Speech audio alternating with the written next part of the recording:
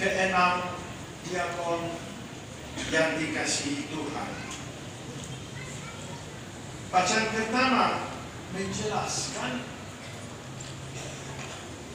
dasar pewatan dari pewarisan imamat dalam perjanjian lama melalui mulai dari Musa kepada ketujuh puluh tua-tua pada zaman itu seperti kita telah dengar di dalam bacaan pertama.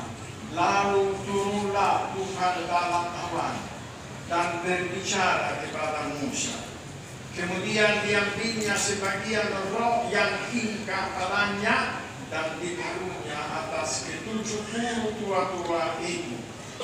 Inilah intinya dari bacaan yang pertama. Namu, venuroc santo Thomas d'Are Aquino, Christus avala super setiat imamat, carena imam percentia lama avala citrania dari Gesù. Tas nama Christus. Sehingga dapat disebut bahwa imam adalah Arthur Kristus. Dalam dengan para penantu di Efesus, saya anggap baik wasiat Santo Paulus itu disampaikan sebagai nasihat saya kepada keenam diakon. Sekarang aku menyerahkan kamu kepada Tuhan dan kepada firman kasih karunia yang berkuasa membangun kamu dan menganugerahkan kepada kamu bagian yang ditentukan bagi semua orang yang telah diputuskannya. Kita biskan hari ini mengambil motto tabisan dari surat Rasul Paulus di Korintus. Allah yang tidak setia. Namun Allah tetap. Teristimewa dalam kesetiaan Allah tampaknya bagi domba-dombanya. Dalam Injil yang baru kita Kristus, Sang Gembala yang baik, sudah memberikan kriteria dari seorang gembala cita kegembiraan apa anda akan mengenalkan seluruh jemaat yang tidak anda baik. Seorang gembala yang setia diharapkan sungguh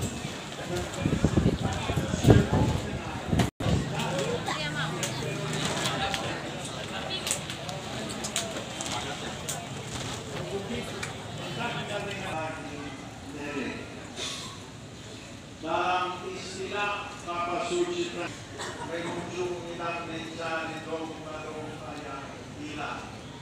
Bapak Suci juga Bapak Pastor kita diri pada domba-dombanya kita telah dengar nasihat dari Santo Gregorius dari nasihat Bapak Gereja dia menasihatkan imam karenanya pertama-tama imam itu sendiri harus murni baru mengajar dan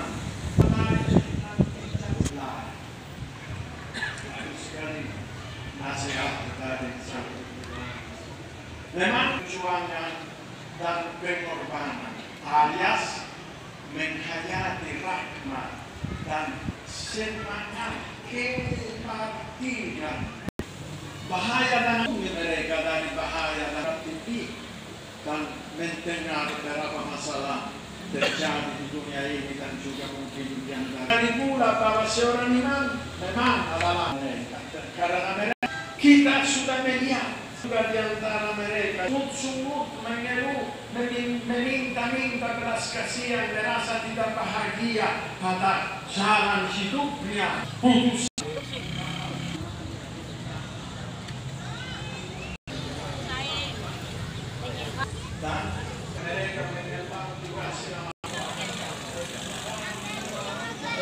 wilayah pos.